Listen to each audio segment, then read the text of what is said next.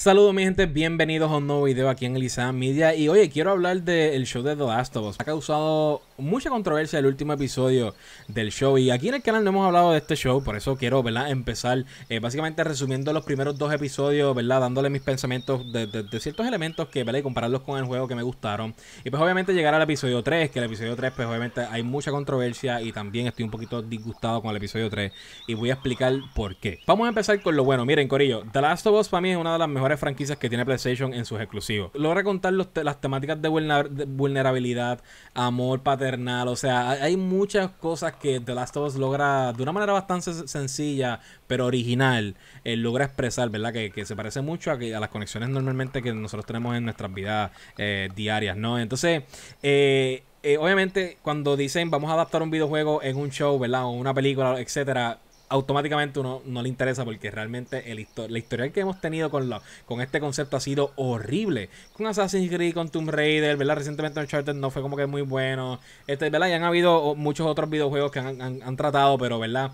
Eh, terminan haciendo algo completamente diferente, ¿verdad? Eh, y como que creativamente cuentan otra historia, hasta cambian el personaje, ¿verdad? Basado en quizá eh, los ideales políticos o, o, ¿verdad? o de la manera que son el, el típico héroe moderno hoy en día, ¿no? Que eso es algo que quiero hablar también eh, ya para el episodio 3. Este, pero la realidad es que The Last es la excepción, ¿verdad? Los primeros dos episodios, Corillo, incluso el principio del episodio 3, están espectaculares, sólidos, sólidos, 10 de 10. Este, y mire, vamos a empezar por los personajes, hermano. Joel y Ellie, eh, pero Pascal como Joel está espectacular. oye, no no es que estaba tan negativo, ¿verdad? Pero no, yo no lo veía él como yo, honestamente. O sea, no, no lo veía y de la manera que, que ¿verdad? Las poses, cómo se proyecta. Oye, creo que hasta, mano, de la manera que, porque yo obviamente jugué el juego, sé cómo esto, todo esto termina, sé cuál es el, camino, sé cuál es la aventura. Y oye, y voy a decir algo. Prefiero obviamente el videojuego, eh, ¿verdad? Eh, Trey Baker y Ashley Johnson son espectaculares. Pero les voy a decir algo. Siento que Pedro Pascal como Joe está haciendo hasta un mejor trabajo que en el videojuego, demostrando la, frialdad, ¿no? La, frialdad y esa pared que pone entre, ¿verdad? Que él pone entre, entre él y Ellie. Es, oye, Pedro Pascal está haciendo un trabajo espectacular, es bien seco, bien frío. Entonces estoy loco por, por ver cómo se desarrolla eso, ¿verdad? Y cómo, qué, qué cosas nuevas puede traer Pedro Pascal al personaje. Y, siento que está haciendo un trabajo espectacular, de verdad. Este, y vimos, ¿verdad? Como en el tercer episodio se está abriendo un poquito más. Pero una de las cosas que más me gusta del show es que, ¿verdad? Los elementos principales, especialmente la introducción de, de, del juego que le hicieron en el primer episodio, estuvo brutal. Primero que todo, de la manera que, ¿verdad? Introducen el virus, o el hongo, discúlpenme. De la manera que tiene tienen a, este, esta, esta, este tipo de show, este talk show, ¿verdad? Y están básicamente eh, explicando, ¿verdad? Cómo nosotros podríamos perder una guerra contra el hongo, porque siempre estamos bien preparados para el virus, pero para el hongo no hay mucha cura, ¿verdad? Si llega a mutar a, a humanos. Y esto es algo bien real que aplica a la vida real, que eso es lo más que te da como que ese escalofrío, porque es algo bien, bien original y bien espectacular en vez de simplemente hacer zombies. Pero entonces de la manera que desde el principio te empiezan a introducir eh, la perspectiva de los científicos, la perspectiva del gobierno en el episodio 2, ¿verdad? De la manera que esta experta simplemente dice, oye, bombardeen las ciudades porque es que no. O sea, no hay, no hay solución aquí. Por favor, llévenme a mi casa para, estar con mi familia. Oye, se me paran los pelos. Brutal, espectacular. Todo eso, ese elemento desde el principio estuvo brutal. Oye, de la manera que introducen a Sara y introducen a Joe. Oye, Sara, eh, ¿verdad? Eh, voy, a, voy a decir esto ahora por, por, es porque realmente lo voy a hablar en el episodio 3. ¿Verdad? Sara normalmente en el show era una niña blanca, ya que es una niña afroamericana, ¿verdad? Y cambiaron ese concepto. Y pues eh, quiero mencionar eso ahora porque voy a expandir un poquito más de lo que está sucediendo con Bill en el tercer episodio. Pero quiero decir algo, mano a pesar de que hicieron ese cambio, normalmente en esta cultura últimamente en las películas están haciendo eso por el simplemente hecho de hacerla. Mano, en, el caso de Sara se siente que literalmente hicieron porque era la niña perfecta para demostrar, ¿verdad? La, inocencia y la, inteligencia que tiene Sara, ¿verdad? Este, y, espectacular. Y a pesar de que sí considero que es más madura aquí en el, en el show que en el juego, porque en el juego tiene ese, ese elemento de inocencia, se le nota un poquito más y por eso siento que, oye, a pesar de que quedó espectacular en el show, de la manera que muere Sara en el videojuego, no se compara compara. Esa, ese performance de Troy Baker, hermano, está espectacular, ¿verdad? No, no sé. Eh, pero oye, aún así me, dio, me dio el sentimiento, me gustó como Pedro Pascal y esta muchacha hicieron el, performance. Y, eh, ¿verdad? De la manera que simplemente expanden los elementos ya introducidos en la historia. Porque en el juego, ¿verdad? Te ponen a jugar como Sara, tú empiezas como que explorar la casa. Ah, mira, ver las noticias que pasó tal cosa y esto. Este, pero nada, es, eh, tienen ese mismo espíritu, tiene el espíritu de Sara, esa nena. Y pues básicamente, ¿verdad? Nos dan como que una perspectiva nueva, como ya la arregló el reloj del papá. Y, volvemos, expanden en, lo espectacular que existe ya del juego, no lo cambian. Y eso, eso es lo bello de este primer episodio y del segundo también. Cuando cambian el color de personaje, ¿verdad? Eh, sea de blanco a latino, lo que sea. O sea, eh, eh, normalmente es por llevar un mensaje político y aquí se sintió espectacular. Y ahora menciono esto porque quiero hablar del episodio 3 y voy a hacer ese contraste, Corillo, porque Bill lo hicieron, o sea, completamente bien forzado ahora, pero vamos poco a poco. Se nos introduce, eh, ¿verdad? Para empezar, se nos introduce el personaje de Ellie. Este, y Ellie, a pesar de que, ¿verdad? Bella Ramsey no se parece en lo absoluto, pero nada a Ellie. Oye, desde el principio la esencia, la actitud, los manerismos. Oye, es Eli, mano. Y de verdad que me vendió el personaje por completo. Yo no tengo ninguna crítica de Plan Ramsey. Era la más que me daba miedo, honestamente. Y decía, diablo, no se parece en nada a Eli. Eli es el. Oye, Eli es el personaje más importante de este show. De verdad que espectacular. Y especialmente ya para el episodio 3, estamos viendo como esa barrera entre Joe y Eli se está rompiendo poco a poco. Y, esa, la dinámica entre ellos dos está espectacular. Estoy loco por ver más de eso. Entonces, una de las cosas que quiero mencionar de los dos episodios, ¿verdad? Porque no voy a estar hablando en detalle todo, todo. Pero en general ¿verdad? Así como hablé del intro, eh, ¿verdad? Que se nos expande con Sara, que ella visita a los vecinos, que ¿verdad? se nos enseña cómo arregla el reloj. Pues lo mismo hace eh, el resto del show con todos los elementos, ¿no? Eh, sí cambian una que otra cosita, pero son cosas bien mínimas, ¿verdad? En el caso de Tommy, Tommy al parecer era un problemático, como que se expande eso. Nunca en el juego se, se nos dio a entender que Tommy era así. Y pues nada, básicamente está en problemas y el propósito de Joel es buscar a Tommy. No este enfrentamiento que tiene con Robert en el videojuego, pues acá sí lo tiene, pero, pero realmente el propósito es buscar una batería para un carro para ir donde Robert, ¿no? Este, y pues cambian esos elementos, ¿no? Este, para ir donde Tommy, discúlpenme. Y no es como en el juego que básicamente que Robert los traicionó y pues Joel y, Tess son como que personas bien malas y bien rudos y pues simplemente querían venganza. Pues eso lo cambiaron un poco, incluso de la manera que Marlene, ¿verdad? La líder de los, de los Fireflies se encuentra con Joel y Tess es también completamente diferente. Pero volvemos, los elementos de la historia están ahí. Aún así mantuvieron de la manera que Ellie conoce a Joel, ¿verdad? Él intenta apuñalar a Joel, así como en el videojuego y yo como que, ajá.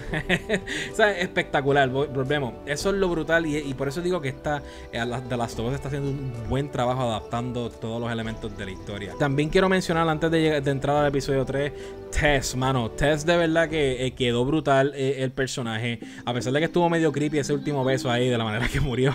Pero vea, eso también es algo que cambian en el show. El, show como que al parecer le está dando un poquito más de vida al hongo, ¿no? Si de momento tú pisas el hongo en ciertos lugares, pues, ¿verdad? Ahí puedes, pueden haber infectados que como que conectan con esa, con esa rama, con esas raíces y pueden detectarte y van y van al lugar donde se encontró como que la alarma. No sé, es algo bien, es algo bien raro y como que le está dando ese elemento un poquito más sobrenatural al hongo y me gustó. Pero nada, volviendo al personaje de Tess, sirve para básicamente darle la credibilidad a Joe de que Ellie realmente es inmune. Y no solamente eso, sino de, eh, ¿verdad? De que ese tacto humano, ese lado humano del Joe como que resurge un poco y pues gracias a Tess es que realmente el Joe se lleva a Ellie para poder cumplir la misión que es llevarla a los Fireflies, ¿no? Y eso, para eso sirve el personaje de Tess, ¿verdad? Para traerle un poquito más de humanidad a Joe y hacer algo por otra persona. Espectacular, lo hicieron en el show de la misma manera, brutal.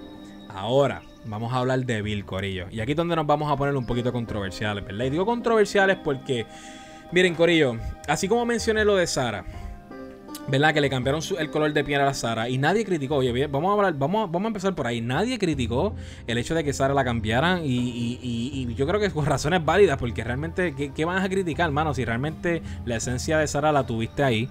Y pues miren, yo creo que esto es un tema que ya se ha repetido muchas veces, ¿me entiendes? En todos los shows de televisión, ahora todo es gay, ahora todo tiene que ser diversidad, el hombre blanco es malo, y si eres hombre es malo también, el, ah, feminismo tóxico al poder, o sea, hay, tantas cosas y tantas ideologías que están empujando a través del entretenimiento, ¿me entiendes? Y ese es literalmente el enfoque de la mayoría de las compañías. En vez de contar historias originales y enfocarse en cierto, ¿verdad? Tener diversidad, la diversidad, oye, ten la diversidad, pero que no sea el enfoque, simplemente establece los personajes, sean gay, este, ¿verdad?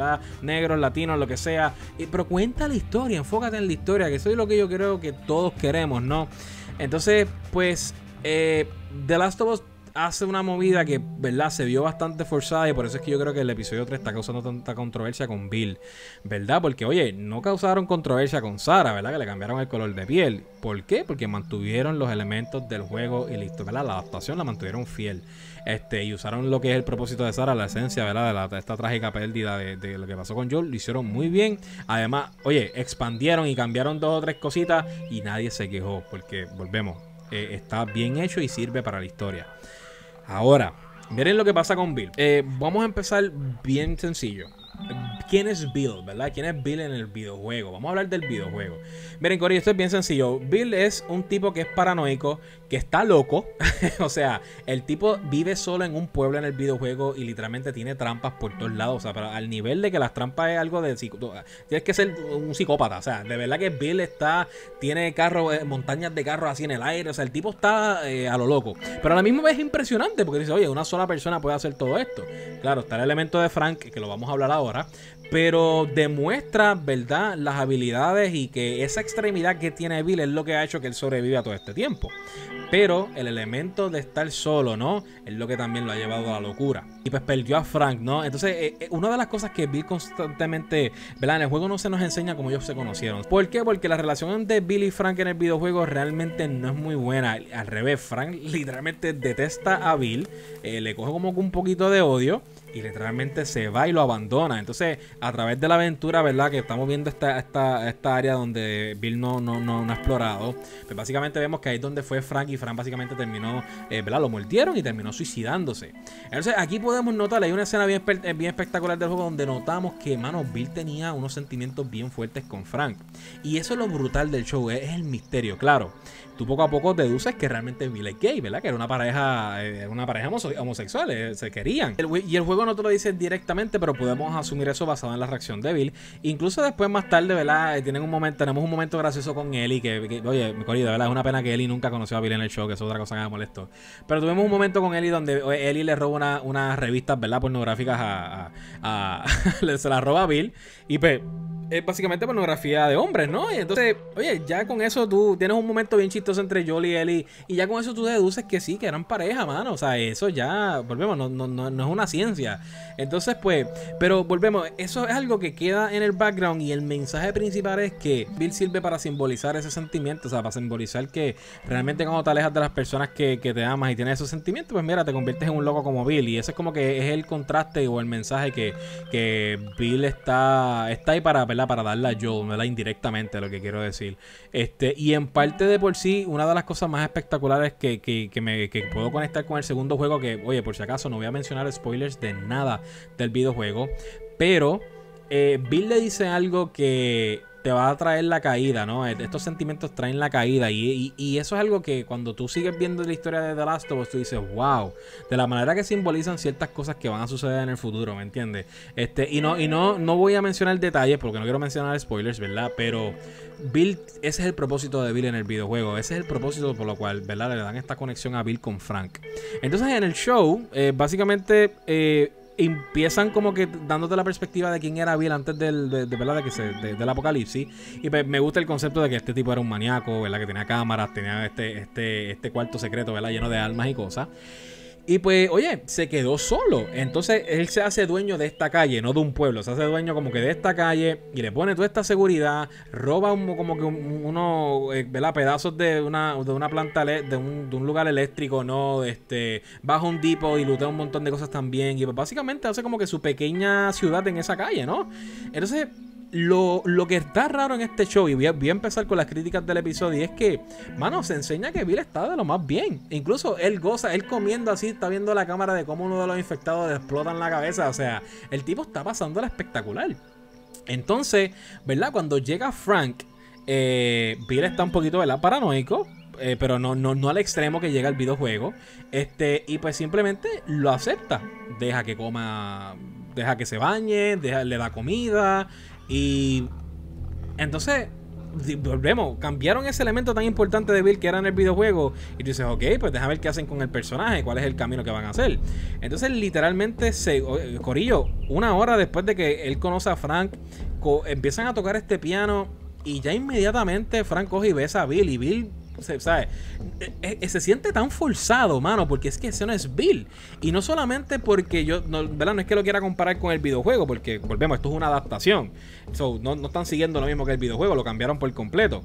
Pero si quitamos el elemento del videojuego, literalmente lo que te introduce en el contexto que te dan en el, en el episodio al principio, ¿sabes? Tú no tienes ningún tipo de señal de que Bill está como que solo y deprimido. Realmente no.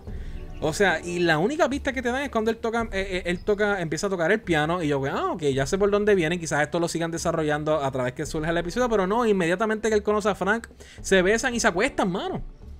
Entonces es como que volvemos, se vio bien forzado. Entonces, al final de cuentas, pues yo por lo menos tiendo, tiendo a no juzgar, ¿verdad? Antes de que terminen las cosas, yo digo, ok, vamos a, vamos a ver cuál es el mensaje al final, cuál es el propósito de este show, ¿verdad? De, toda esta relación, eh, ¿verdad? De esta felicidad, este final feliz, feliz básicamente que le están dando a Bill, ¿verdad? Porque se enfocan literalmente en esta, en esta relación. Y literalmente no complementa absolutamente nada, Corillo, se los digo. Y yo creo que lo que intentaron hacer es darle, ¿verdad? Cuando Bill le deja esa, carta a Joel al final, es como que dar el mensaje de que, mira, porque, ¿verdad? Se nota el contexto de que Joel y Bill conectan un poco porque los dos son paranoicos, ¿no? Este, y pues, eh, básicamente darle el mensaje de que Bill, Bill le dice a Joel, mira, personas como tú y yo, estamos, ¿verdad? Estaba equivocado, tenemos que aceptar, eh, ¿verdad? Que personas entren en nuestras vidas y tenemos que tener la esperanza, ¿verdad? Tener la esperanza de poder amar otra vez y de poder conectar con otras personas. Ese es el mensaje que le da Bill. Un mensaje que literalmente le dio Tess. Ese es el, propósito que tuvo Tess en el show. Básicamente lo repitieron con Bill. Y volvemos. Eso no es el mensaje, como expliqué ya, que dan en el videojuego. Bill es literalmente un caso bien triste y bien trágico que literalmente es una posibilidad, ¿verdad? Que le puede pasar a Joel, a Joel ¿verdad? Si, si niega ciertas cosas de, sus sentimientos, ¿no? Y no solamente eso, como también esos sentimientos pueden traer consecuencias en el futuro. Volvemos, no quiero mencionar spoilers. Pero mi punto es ese, que cambiaron todo el concepto y las raíces de Bill del videojuego para simplemente contar una historia. Y fue bien forzada la relación de Frank y Bill. Y volvemos, aquí donde conectamos la idea de por qué tú fuerzas esto, cuando al final de cuentas, eh, ¿verdad? Yo tratando de profundizar más allá, realmente quizás encuentro el mensaje que se repite con Tess, ¿verdad? Que ya lo dijiste en el segundo episodio. Y más allá de eso, no añades nada. Simplemente que estos dos tipos tuvieron un final feliz, se terminaron suicidando, hasta glorifican el suicidio. Eh, ¿Verdad? El suicidio, discúlpenme.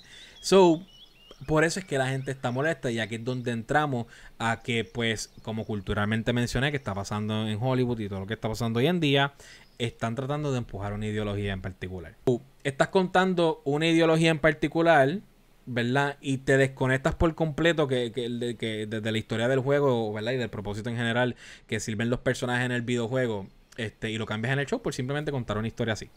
Y aquí por eso es que entiendo la molestia de las personas y aquí por eso es que digo que fue forzado y por eso es que la gente está criticando. Porque volvemos, si nos enfocamos en ideologías políticas hoy en día, por eso hice el ejemplo de Sara, con Sara nadie criticó nada, nadie, ni, yo no vi ni un mensaje, Corillo, y fue por eso, porque mantuviste todo igual. So, no necesariamente la gente está en contra de lo que es la, qué sé yo, quizás tener personajes con, de, la de diversidad o tener, tener personajes homosexuales o lo que sea. Es que simplemente estás haciendo el personaje homosexual por simplemente decir, mira, un personaje homosexual. Eso es todo, ¿me entiendes? No, estás empujando la ideología. Y la gente, oye, y ahí vamos, vamos a mencionar otra cosa que esto es algo que quizás yo sé que me puedan criticar, pero la realidad es que eh, las escenas sexuales, las relaciones sexuales en shows como estos, ¿verdad? O, vamos a ponerlo más con los videojuegos, siento que están de más. Y no es por el hecho de que sean homosexuales, porque miren, Corillo, en el segundo, no voy a mencionar mucho spoiler, pero en el segundo juego se van a la extremidad con esto, tanto con personajes que conocemos, con o sea, relaciones este, homosexuales como heterosexuales, especialmente las heterosexuales, las, relaciones heterosexuales, hay unas escenas bien fuertes en el segundo juego que yo digo, oye, esto es casi pornográfico, entonces, volvemos, ¿por qué lo pones? ¿Por, cuál es el propósito de esa escena? para demostrar que dos personas se aman y ya, o por el simplemente de hecho que, que el sexo vende o lo que sea, ¿me entiendes? No sé, como que se siente barato y se siente que está de más. Y eso es una, una crítica que yo tengo del segundo juego. Y aquí lo hacen exactamente por el mismo concepto, porque pues eh, el sexo vende. Y volvemos, siento que estuvo de más, de verdad. Y por eso es que la gente yo creo que está bastante, ¿verdad?, eh, molesta. Eh, porque literalmente cambiaste el concepto completo de la historia y de lo que, ¿verdad?, el propósito original de Bill para contar simplemente un punto político. Eso es todo. rápido empiezan a decirte homofóbico, rápido, ¿verdad? hay, un montón de changuitos que empiezan a decirte un montón de, insultos, ¿no? Porque eh, la realidad es que eh, muchas de estas personas que se ponen así eh, son quieren tolerancia y quieren, ¿verdad? Que los acepten, pero ellos no aceptan opiniones diferentes, ¿me entiendes? Ellos no, aceptan, ellos no aceptan que quizás hay personas que se incomoden por una escena como esa. Hay quizás personas que realmente no están de acuerdo con eso, ¿me entiendes? Y yo, en, mi, en el caso mío personal, yo no tengo problemas con personajes homosexuales ni con ningún tipo de concepto que quieran hacer. Al revés, entre más diversidad mejor.